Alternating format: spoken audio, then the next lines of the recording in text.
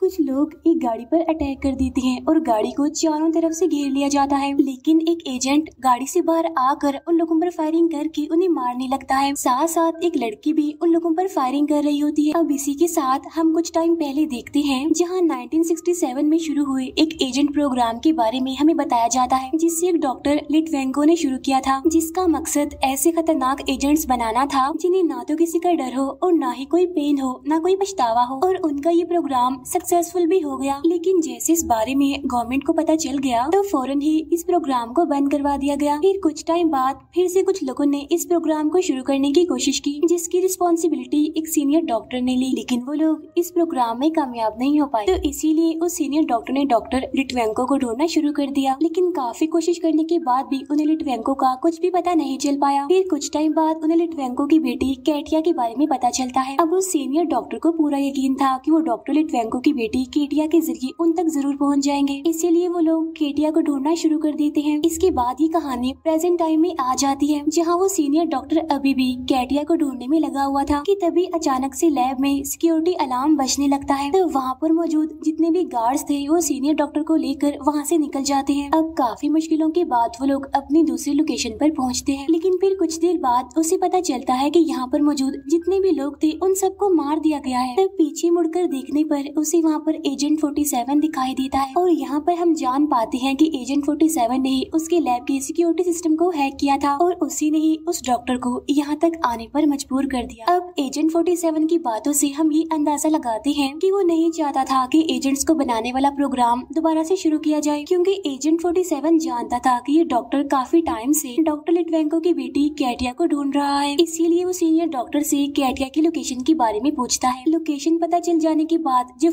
47 वहाँ से जा रहा था। तब वो डॉक्टर कबट में से गन लेकर 47 पर अटैक करने का सोचता है। लेकिन कबट का दरवाज़ा खुलते ही उसमें लगा हुआ बॉम्ब एक्टिवेट हो जाता है और बॉम्ब ब्लास्ट होने की वजह से वो सीनियर डॉक्टर मारा जाता है। असल में 47 ने पहले ही उसमें बॉम्ब लगा दिया था। डॉक्टर के मरने के बाद सारे गार्ड्स उस रूम में जाने लगते हैं। उस रूम में जहाँ पर 47 था। लेकिन 47 बड़ी ही आसानी से उन सबको मारकर वहाँ से निकल जाता है। नेक्स्ट सीन में हम एक ऑर्गेनाइजेशन के हेड को देखते हैं और यही वो इंसान है जो अपने फ़ायदे के लिए एजेंट्स बनाने वाले प्रोग्राम को दोबारा से शुरू करना चाहता है और जब इस हेड को डॉक्टर के मरने के बारे में पता चलता है तो वो भी अपने आदमियों को कैटिया के पीछे लगा देता है। नेक्स्ट सीन में हम बर्लिन जर्मनी का सीन देखते हैं, जहाँ पर हमें कैटिया दिखाई जाती है और वो कुछ डॉक्यूमेंट्स लेकर एक आदमी को ढूँढने की कोशिश कर रही होती है। यहाँ पर कैटिया को भी पता नहीं होता कि जिस आदमी को वो ढूंढ रही है, उसका उससे क्या ताल्लुक है। इवन वो तो उसका नाम तक नहीं जानती थी, लेकिन इसके बावजूद भी कैटिया की यादें उसे उस आदमी को ढूँढने पर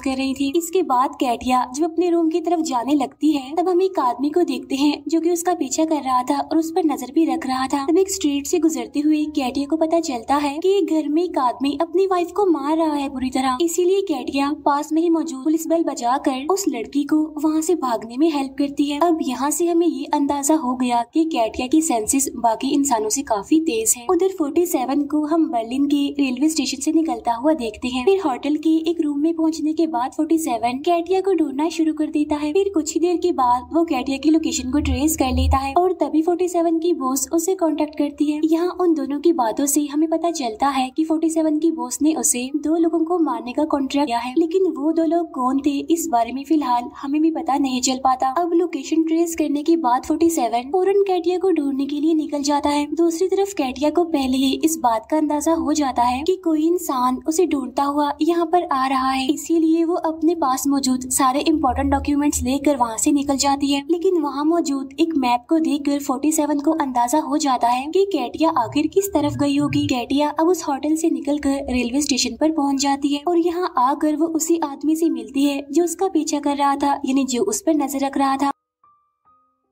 वो आदमी अपना नाम जॉन बताता है। यहाँ पर जॉन कैटिया को ये यकीन दिलाने की कोशिश करता है कि जो आदमी तुम्हारे पीछे पड़ा हुआ है, वो तुम्हें मारना चाहता है। और मैं तुम्हें बचाने के लिए यहाँ पर आया हूँ। तब ये सुनकर कैटिया उससे पूछती है कि आखिर कोई मुझे क्यों मारना चाहेगा? कि तभी 47 भी यहाँ पर पहुँच जाता है। तब जॉन उस पर अटैक करना शुरू कर देता है। यहाँ पर उन दोनों के ही बीच फायरिंग होने लगती है। जॉन कैटिया को लेकर वहाँ से भागने की कोशिश करता है, लेकिन काफ़ी देर तक भागने के बाद भी 47 इनका पीछा करना बंद नहीं करता। करता इसीलिए जोन पास की ही एक एम्बेसी के सामने जाकर हवा में फायरिंग करने लगता है, जिसकी वजह से वहाँ पर मौजूद सिक्योरिटी इन्हें अरेस्ट करके अंदर ले जाती है। तब ये देखकर 47 वहाँ से निकल जाता है। अंदर मौजूद ऑफिसर कैटिया से सवाल जवाब करने लगते हैं। तब कैटिया उनसे कहती है कि कोई मुझे मारना चाहता है और जोन सिर्फ़ मुझे बचाने की कोशिश कर रहा था। फिर कुछ टाइम के बाद कैटिया को 47 की विजन आने लगते हैं और उसे पता चल जाता है कि 47 जल्दी एम्बेसी के अंदर आने वाला है। उधर 47 जानबूझकर अपनी गन्स लेकर एम्बेसी के अंदर आ जाता है। इसीलिए वहाँ पर मौजूद गार्ड्स उसे हैंडकफ्स लगाकर अरेस्ट कर लेते हैं। अब 47 ने ऐसा इसीलिए किया होता है ताकि वो किसी भी तरह करके इस एम्बेसी में घुस सके। 47 को अरेस्ट करने के बाद वहाँ पर मौजूद ऑफिसर उसे पूछताछ करने लगता है। अब क्योंकि 47 के हाथ बंधे हुए थे, इसीलिए सामने वाला ऑफिसर बड़े ही बेफिक्री से 47 की गन को टेबल पर रख देता है। यहाँ मौका मिलते ही 47 बड़ी ही चलाकी से खुद को आज़ाद करवाने में कामयाब हो जाता है। इसके बाद 47 वहाँ पर मौजूद गार्ड्स को मार कर अपने सामने बैठे ऑफिसर को बेहोश करके वहाँ से निकल जाता है। लेकिन अब सिक्योरिटी अलार्म बजने की वजह से जॉन को भी खतरे का अंदाज़ा हो जाता है। इसीलिए वो टाइम वेस्ट किए बगैर कैटिया को लेकर वहाँ से निकल जाता है। जॉन पुलिस की गाड़ी में बैठ कर वहाँ से निकलने की कोशिश करता है। उधर 47 को हम सीढ़ियाँ चढ़ते हुए देखते हैं। उधर गाड़ी में कैटिया के पूछने पर जोन उसे बताता है कि जिस आदमी को तुम ढूंढ रही हो, उसका नाम लिटवेंको है और वो आदमी कोई और नहीं बल्कि तुम्हारे फादर है। जोन उसे बताता है कि काफ़ी सालों पहले तुम्हारे फादर ने एक प्रोग्राम शुरू किया था, जिसमें उन्होंने ऐसे खतरनाक एजेंट्स या फिर कहेंगे किलर तैयार किए थे, जिन्हें ना तो डर लगता है और ना ही कोई दर्द होता है। वो ये भी बताता है कि कुछ लोग फिर से इस प्रोग्राम को शुरू करना चाहते हैं और सिर्फ़ तुम्हारे फादर ही हैं जो उन लोगों को रोक सकते हैं और वो लोग तुम्हारे ज़रिए तुम्हारे फादर तक पहुँचना चाहते हैं। और यही वजह है कि वो आदमी तुम्हारे पीछे पड़ा हुआ है। उधर हम देखते हैं कि 47 अब तक बिल्डिंग के टेरिस पर पहुँच गया था और वो काफ़ी दूर से इनकी गाड़ी पर शूट कर देता है और उस गोली की वजह से कैटिया इंजर्ड हो जाती है। नेक्स्ट सीन में हम होटल रूम का सीन देखते हैं और जो उनकी बातों से कैटिया को पता चलता है कि एजेंट्स की तरह कैटिया के फादर ने उस पर भी कुछ एक्सपेरिमेंट्स किए थे और यही वजह है कि कैटिया की सेंसेस आम इंसानों की नस्बत काफ़ी तेज है। उसे पहले ही आने वाले खतरों के बारे में पता चल जाता है। फिर कैटिया जोन से अपने फादर के बारे में पूछने लगती है ताकि वो 47 से पहले अपने फादर तक पहुँच जाए। इसी दौरान कैटिया को पता चलता है कि उसके फादर को लंग कैंसर है। जो उनकी बातें सुनने के बाद कैटिया अपने इकट्ठे किए गए डॉक्यूमेंट्स को देखने लगे। और उसे अंदाज़ा हो जाता है कि इस टाइम उसके फादर कहाँ पर हैं। लेकिन इससे पहले कि जोन उसे कुछ पूछ पाता 47 दरवाज़ा तोड़कर अंदर आ जाता है। और जोन को अपने सामने देखकर 47 उसे शूट करके मार देता है। फिर 47 कैटिया को बेहोश करके अपने साथ ले जाता है। फिर कुछ देर के बाद जब कैटिया को होश आता है तो वो खुद को चेयर के साथ बंधा हुआ पाती है, जहाँ 47 उसे बताता है की मैं तुम्हें मारना नहीं चाहता। लेकिन वो लोग तुम्हें मार देंगे। इसके बाद 47 कैटिया को अपना हाथ आगे करने के लिए कहता है। और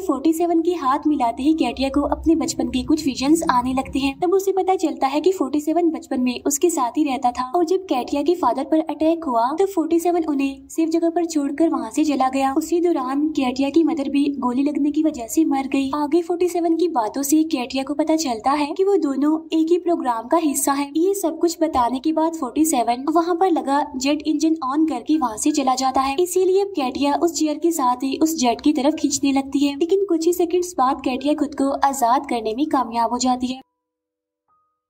बाहर निकलने के बाद कैटिया को 47 की बातों से पता चलता है कि उसे भी 47 की तरह खतरों से बचने के लिए प्रोग्राम किया गया है।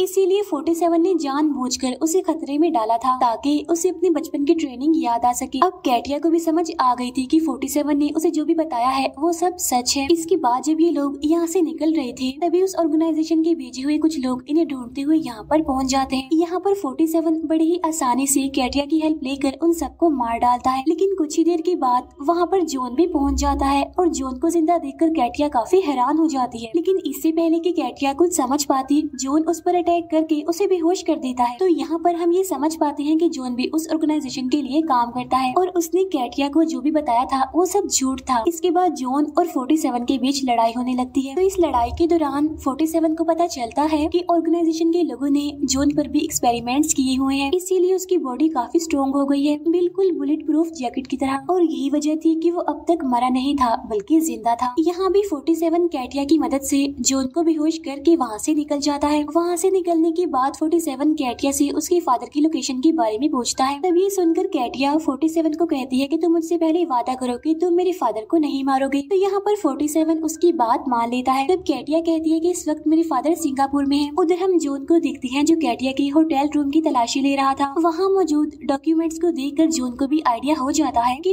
लिटवेंको इस टाइम सिंगापुर में हो सकता है। तो इसीलिए वो ये बात अपने हेड यानी ऑर्गेनाइजेशन के हेड को बता देता है। नेक्स्ट सीन में हम 47 और कैटिया को सिंगापुर के एयरपोर्ट से निकलते हुए देखते हैं। अब यहाँ पर 47 को पता था कि यहाँ पर लगे कैमराज की मदद से उस ऑर्गेनाइजेशन के लोग इन्हें देख सकते हैं। इसीलिए 47 कैटिया को कहता है कि तुम्हें भी यहाँ पर लगे कैमरा से बचते हुए निकलना होगा। तब कैटिया बड़ी ही चलाकी से सब कैमरा से बचते हुए वहाँ से निकल जाती है, लेकिन एयरपोर्ट के बाहर लगे हुए कैमरा में आने की वजह से ऑर्गेनाइजेशन के लोगों को इनकी लोकेशन के बारे में पता चल जाता है। अब होटल में पहुँचने के बाद फिर से कैटिया 47 से सवाल जवाब करने लगती है। कैटिया उससे पूछती है, क्या तुम इंसान हो? क्योंकि मैंने सुना है कि एजेंट्स में कोई भी फीलिंग्स नहीं पाई जाती। लेकिन 47 के पास उसके इस सवाल का कोई भी जवाब नहीं होता। 47 ये कहकर वहाँ से उठ जाता है कि अभी मुझे सोने के लिए जाना है। नेक्स्ट डे ऑर्गेनाइजेशन के भेजे हुए लोग इन पर अटैक कर देते हैं। यहाँ भी 47 कुछ ही देर में उन सबको मार डालता है। फिर 47 कैटिया को लेकर वहाँ से निकल जाता है और लिफ्ट में जाते टाइम 47 चाकू के बदले में एक बच्चे से उसका इनहेलर ले लेता है। क्योंकि कैटिया ने उसे बताया होता है कि लिटवेंको को लंग कैंसर है। तो इसीलिए 47 को लगता है कि ये इनहेलर कभी भी उसके काम आ सकता है। इसके बाद वो लोग उस लोकेशन पर पहुँच जाते हैं, जहाँ पर लिटवेंको रहता था। इस जगह पर चारों तरफ़ काफ़ी सारे फ्लावर्स लगे हुए थे। अब लिटवेंको ने इस जगह को इसीलिए चूज़ किया ताकि उसे सांस लेने में आसानी हो। अपने फादर से मिलते ही कैटिया उनसे पूछती है कि आखिर आपने मुझे क्यों छोड़ा? मैं तो आपकी बेटी थी। तब लिटवेंको कहता है क्योंकि मैं नहीं चाहता था कि मेरी वजह से तुम भी मारी जाओ। अपने फादर की बातों से कैटिया को पता चलता है कि कैटिया की मदर कभी भी माँ नहीं बन सकती थी, लेकिन उन्हें अपने लिए एक बच्चा चाहिए था। इसीलिए लिटवेंको ने कैटिया को बनाया। लिटवेंको ने जानबूझकर कैटिया को इस तरह से प्रोग्राम किया कि वो आने वाले खतरों के बारे में पहले से ही जान सके, क्योंकि वो कैटिया को ज़िंदा रखना चाहता था। फिर कुछ ही देर के बाद फोर्टी सेवन लिटवेंको के सामने आ जाता है। तब उसे देखते ही लिटवेंको समझ जाता है की वो उसे यहाँ पर मारने आया है। लेकिन यहाँ पर कैटिया अपने फादर से कहती है, ये आपको नहीं मारेगा। लेकिन तभी कुछ लोग वहाँ पर आकर लिटवेंको पर अटैक कर देते हैं। इसीलिए अब ये लोग पार्किंग एरिया की तरफ़ भागने लगते हैं। तो पार्किंग एरिया से निकलते टाइम उस ऑर्गेनाइजेशन के भेजे हुए कुछ लोग इन पर अटैक कर देते हैं। और इन्हीं लोगों में जॉन भी शामिल था। यहाँ पर भी 47 कैटिया की पावर्स का यूज़ करके फिर से इन लोगों से बच जाता है। इसी दौरान लिटवेंको को भी पता चल जाता है कि वो ऑर्गेनाइजेशन फिर से उस प्रोग्राम को स्टार्ट करके और एजेंट्स बनाना चाहती है। यहाँ पर कैटिया उस ऑर्गेनाइजेशन की हेड को मारने का सोचती है। तब ये सुनकर 47 उसे बताता है कि उस हेड को मारना इतना आसान नहीं है, क्योंकि वो हर टाइम सिक्योरिटी के बीच में रहता है। अब तक बहुत सारे एजेंट्स उसे मारने की कोशिश करते रहे, लेकिन वो सारे नाकामयाब रहे और खुद ही मारे गए।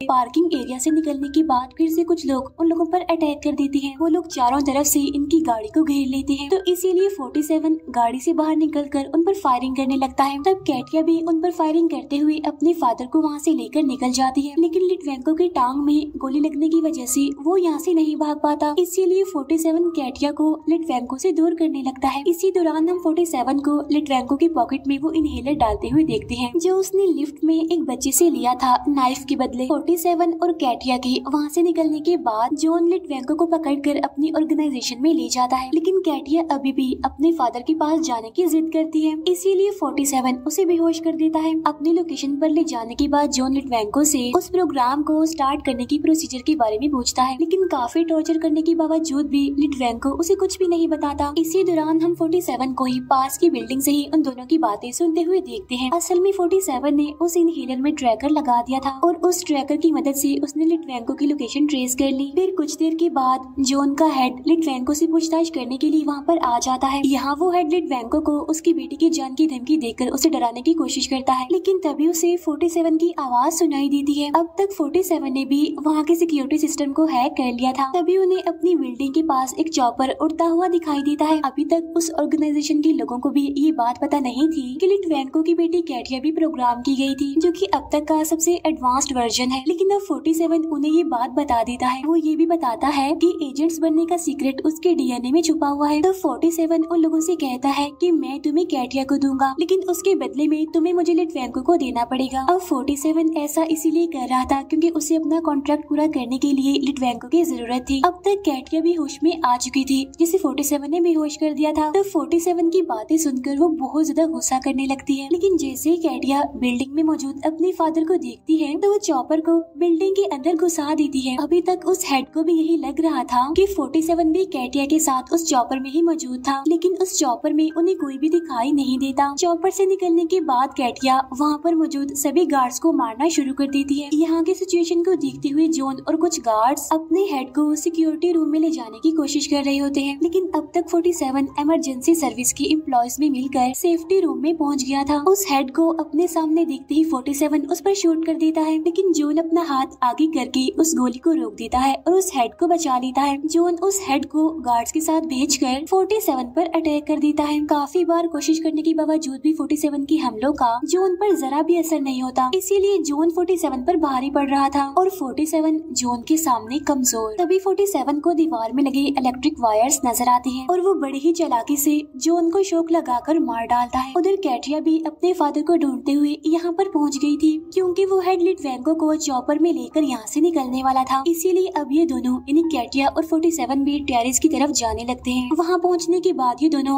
वहाँ पर मौजूद सभी गार्ड्स को मारने लगते हैं। लेकिन काफ़ी कोशिश करने के बावजूद भी ये उस हेड को नहीं रोक पाते, क्योंकि वो हेड लिट वैंको को यहाँ से लेकर निकल चुका था। इसी दौरान जब एक गार्ड कैटिया की तरफ़ शूट करता है तो 47 सामने आकर उस हमले को खुद पर ले लेता है। फिर उस गार्ड को मारने के बाद 47 भी उस चॉपर की तरफ़ देखने लगता है। उधर चॉपर में बैठा लिट वैंको अपने हाथ में मौजूद उस इनहेलर को देखने लगता है। वो जानता था कि 47 ने किसी वजह से ही उसे ये इनहेलर दिया था। वो ये भी जानता था कि अगर ये हेड बच गया तो वो दोबारा से ही कैटिया को ढूँढने की कोशिश करेगा। इसीलिए लिटवेंको उस इनहेलर को प्रेस कर देता है, जिसकी वजह से एक काफ़ी बड़े ब्लास्ट के साथ वो पूरा चौपर तबाह हो जाता है। और तभी 47 के पास उसकी बॉस की कॉल आती है। तो 47 अपनी बॉस को बताता है कि लिटवेंको मारा गया है। तब इसके बाद 47 की बॉस उसके दूसरे टारगेट के बारे में पूछने लगती है। लेकिन 47 उसकी बात का जवाब दिए बगैर अपना मोबाइल बिल्डिंग से नीचे फेंक देता है। तो यहाँ पर हम ये जान पाते हैं कि 47 की दूसरी टारगेट को यो नहीं, बल्कि कैटिया थी। लेकिन 47 ने उसे मारने का डिसीज़न बदल दिया था। यहाँ पर कैटिया को भी समझ आ जाती है कि 47 ने अपना कॉन्ट्रैक्ट पूरा करने के लिए उसे यूज़ किया। तो 47 उसे बताता है की मैंने ये जानबूझकर नहीं किया, बल्कि प्रोग्राम को रोकने के लिए ऐसा करना ज़रूरी था। इसके बाद ये दोनों लिफ्ट की तरफ़ जाने लगते हैं, जहाँ पर 47 कैटिया को बताता है ये पूरी बिल्डिंग ही हाईली ट्रेंड सोल्जर से भरी हुई है, जिस पर कैटिया उसे कहती है कि नहीं, तुम गलत हो,